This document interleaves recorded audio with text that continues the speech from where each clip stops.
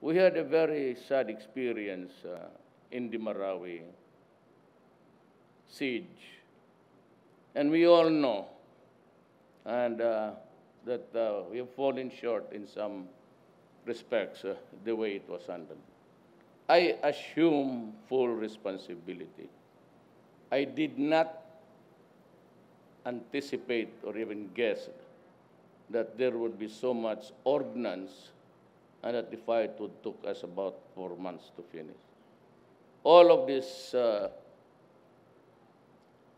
forts, uh, if it is indeed one, or our forts, it belongs and it falls on my shoulders as commander-in-chief. And I assume full responsibility to the nation of what's going to happen. Uh, the intelligence uh, came very fast that there was a buildup.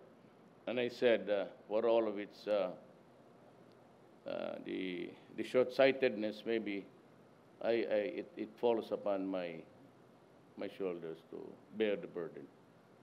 I and I alone should be responsible for that.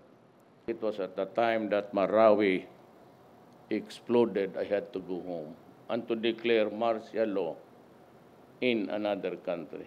Uh, that is a painful realization to be signing something about your country, about the safety of your country, about the safety of the people, and to give the orders outside of the Republic of the Philippines. But anyway, I congratulate and I pay homage to my soldiers, my policemen, and I was there almost nine times to join them even at night, just to give them the esprit de corps to, it was a very harsh condition